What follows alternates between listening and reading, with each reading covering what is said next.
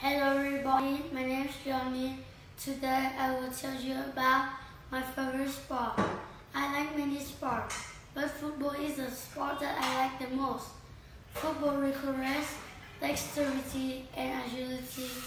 In football, each team will have 11 players and one football player.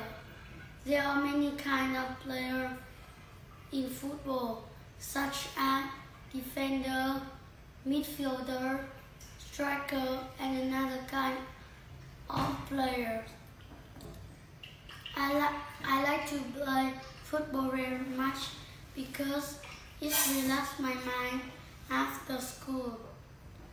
I often play football twice a week and I always play football.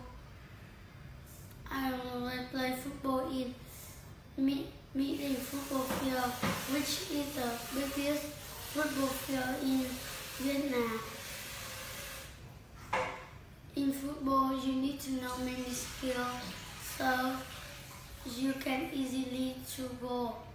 I encourage you to do sport because it helps you to get better and higher. Thank you for listening. Goodbye.